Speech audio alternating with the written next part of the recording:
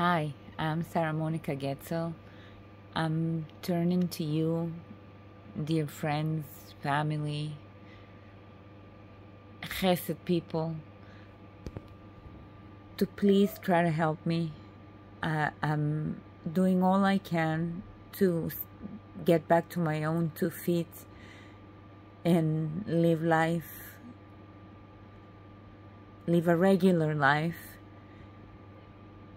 but it's very difficult to do it by myself. That's why I'm asking you for your help. Anything you can do is very much appreciated, whatever it is. And even if you can't, just the intention, thank you for everything. God bless you, and B'ezrat Hashem, may I soon be on the side of the givers again, being able to hold a normal life and support myself by myself. Thank you all so much.